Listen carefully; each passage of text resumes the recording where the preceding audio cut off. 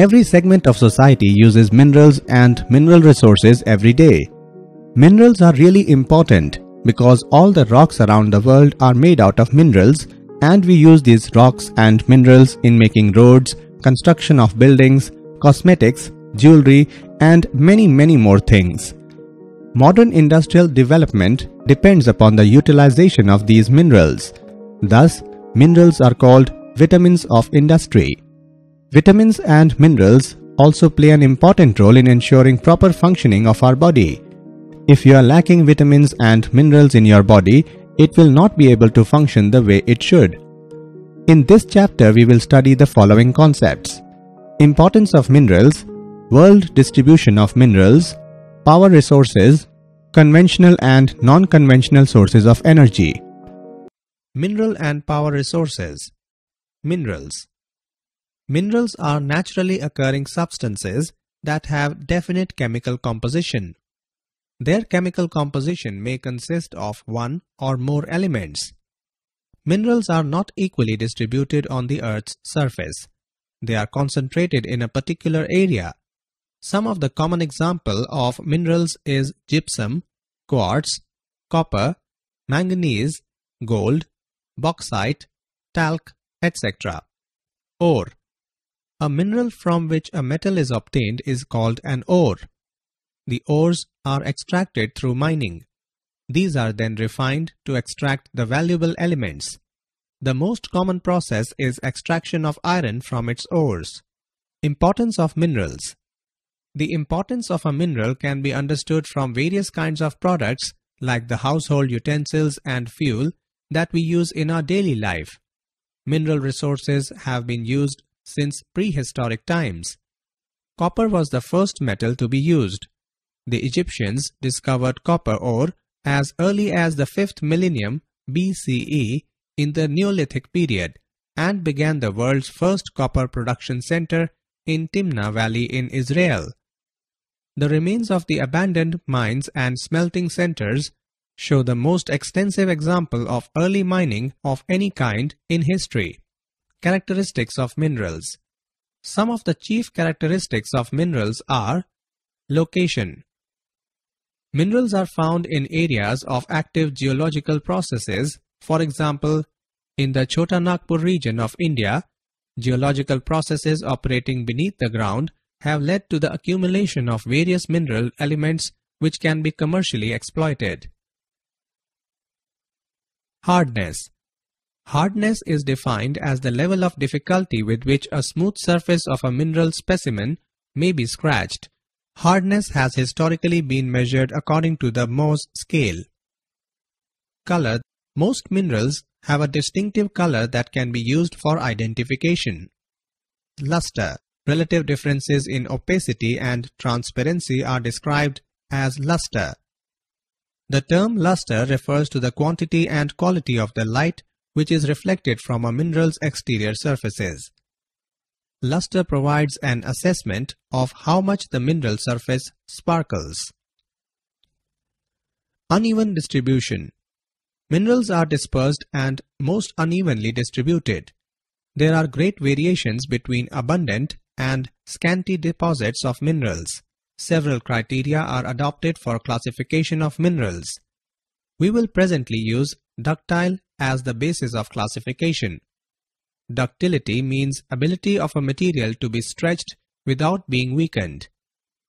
Based on ductility, minerals are classified into metallic and non-metallic. Then metallic minerals can be further divided into ferrous and non-ferrous metallic minerals.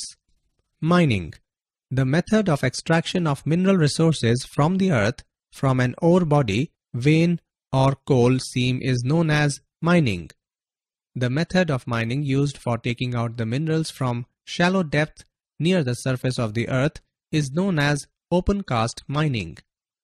Materials typically extracted from open pit mines include clay, coal, copper, diamonds, gravel and stone, granite, etc. Shaft mining or shaft sinking refers to the method of excavating a vertical or near vertical tunnel from top to down where there is initially no access to the bottom.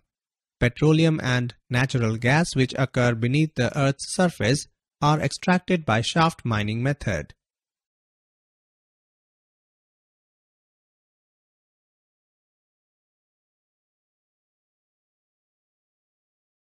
Drilling The minerals which are extracted by boring deep wells have to be taken out by drilling into the earth with a drilling rig that rotates a drill with a string attached to it. Quarrying The process is used near the surface of the earth by simply digging out or breaking rocks. Quarries are generally used for extracting building materials such as construction aggregate, sand, and gravel. Any mining operation comprises of four stages. Prospecting, exploration, development, and exploitation. Prospecting means surveying and searching for the resources. The resources in the Earth's crust require sophisticated technology to discover. Since mining is inherently spatial, requiring accurate knowledge of areas of the Earth's surface and subsurface with the help of satellites and various other techniques are taken is important. Exploration means conducting the actual search for extraction and even deciding on the type of mining method. Development means establishing the necessary infrastructure for extraction of minerals on the Earth's surface or beneath it. Exploitation involves commercial extraction of minerals.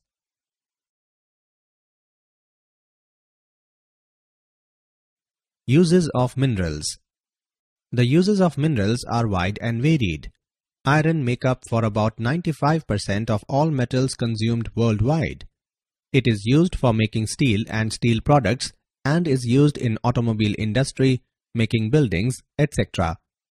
Minerals like bauxite are used for making aluminium as it is in great demand for making engines and bodies of automobiles and aeroplanes. Bauxite is also used in bottle industries and kitchen utensils. Copper is a ductile metal which is also considered a very good heat and electricity conductor. About 65% of copper that is produced is used for electrical appliances. The important uses of copper include power generation and transmission of electricity through wires. Graphite is used in making the tip of a pencil. Toothpaste the toothpaste we use to clean our teeth contains a mineral called fluoride. Many other minerals are also used like mica which add sparkle to the teeth. Salt is a mineral obtained through evaporation of seawater.